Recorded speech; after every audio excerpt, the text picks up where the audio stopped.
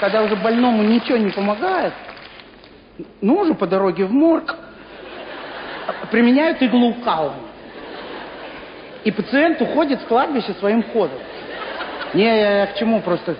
Ну, тут ну, у нас недавно один депутат, ну, во время дебатов, жестикулируя, из окна выпал.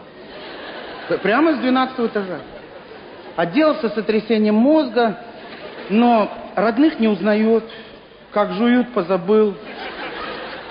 На- от еды отказывается, на все вопросы м- м- мычит. Врачи так с ним эдак мычит. Осталось последнее средство, иглоукалывание. Тычут в ухо, тычут в глаз, мычит. И вот уже, когда врачи отчаялись полностью, сестричка в сердцах всадила ему иголку прямо в ягодицу. И вот чудо. Мычание стало членораздельным.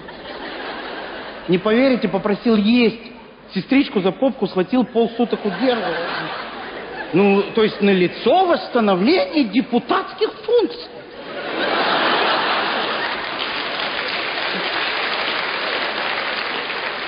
Сняли на приборе колебания головного мозга, тишина. Г- головной мозг под ключки. Спиной мозг прозвонили, та же картина. А между тем депутат ест, пьет, сестричку за попку хватает, то есть ведет себя как полноценный мужчина. И стали врачи под эту практику подводить теорию. Что выяснилось? Оказывается, ягодицы взяли на себя функцию депутатского головного мозга. Не, ну слушайте, ну как, как это раньше в голову не приходило? Ведь даже по форме ягодицы напоминают полушарие депутатского головного мозга.